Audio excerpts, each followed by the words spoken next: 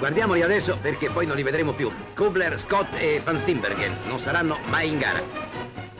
125 i partenti per questa prova generale del Giro d'Italia. La prima fuga è di De Santi. La seconda più lunga di Pinarello. Si sale verso i 640 metri di San Marino. Qui Boff precede la rivelazione Ponzin. Nella discesa a Scapicollo i due saranno superati da Soldani e Magni, che ora vediamo in gruppo con Astrua, Zampieri e Roma. Dice 47 morto che parla. Magni invece è un vivo che tace ma tira il collo a tutti. Poco dopo Cesena al quintetto si sono aggiunti Coppi e Bevilacqua. Eccolo il Tony, è scappato a 4 km da Forlimpopoli e adesso procederà solitario per 40 km. Il suo vantaggio salirà sino a 2 primi e 45 secondi, ma in cima al trebbio, 575 metri, passeranno primi Bartali e Coppi. Eccolo Gino, è sempre lui.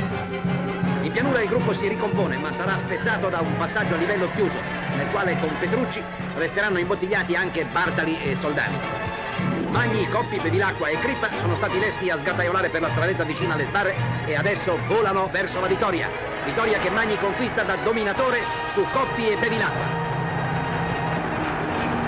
Magnifico il leone delle Fiandre, ma Fausto ha tenuto in pieno la distanza. Buon segno.